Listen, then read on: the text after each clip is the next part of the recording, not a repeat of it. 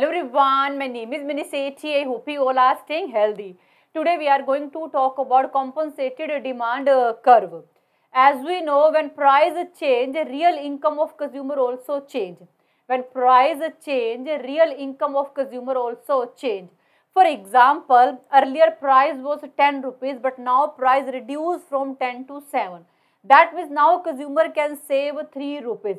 This 3 rupees will be called increase in real income due to fall in price because now consumer can afford more goods and services with the same amount of money. On the other hand, if price increase from 10 to 13 rupees, that means consumer have loss of 3 rupees. This loss of 3 rupees will be called fall in real income. In compensated demand curve, we keep real income of consumer uh, constant which changed due to change in price. In compensated demand curve, we keep real income of consumer constant which changed due to change in price. For example, when price fall, we will take this 3 rupees from consumer, but when price increase, we will give this 3 rupees to consumer so that his real income remain uh, constant which changed due to change in price. But why we do this? As we know, Price effect is combination of income effect and substitution effect.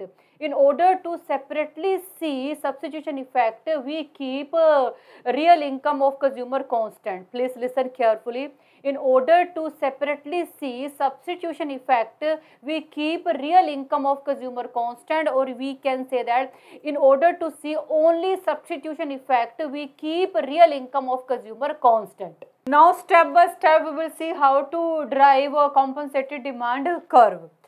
On horizontal side we have X good, here we have Y good, here we have quantities of X good and here we have price.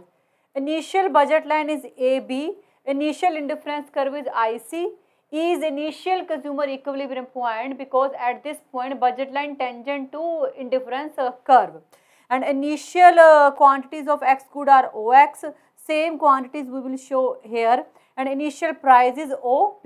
Now suppose the price of X fall.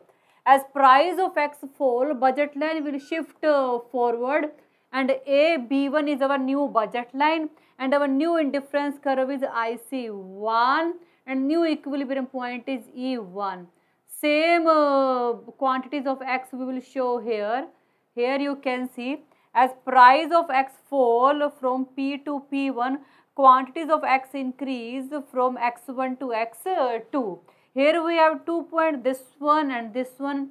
When we join these two points, it will be called our normal demand curve or you can say that it will be called our Marshall demand curve. This is normal demand curve. Now we are going to talk about compensated demand curve. First of all, we will see compensated demand curve of Hicks. As we earlier discussed, in case of compensated demand curve, when price fall, we take some money from consumer in order to keep their uh, real income constant.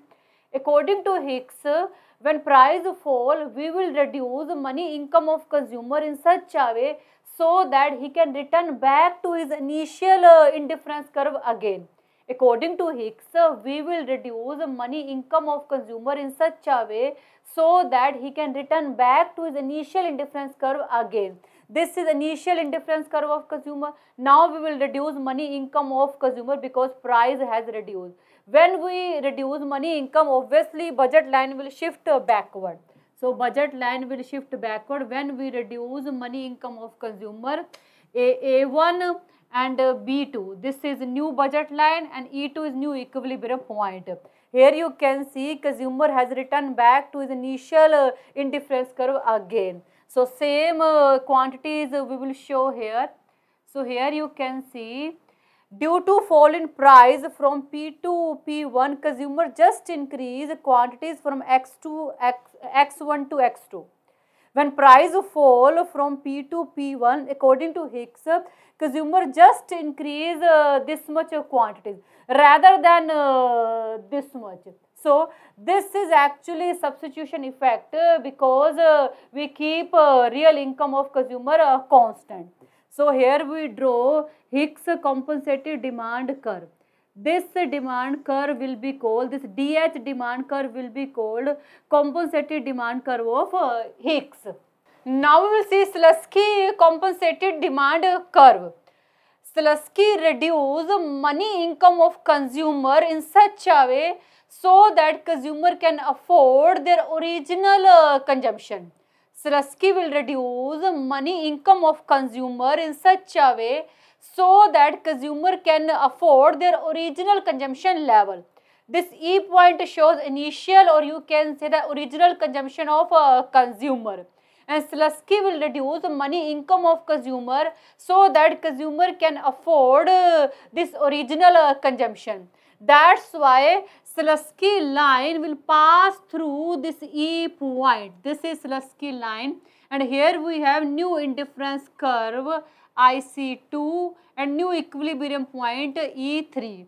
Here you can see IC2 is higher indifference curve as compared to this indifference curve.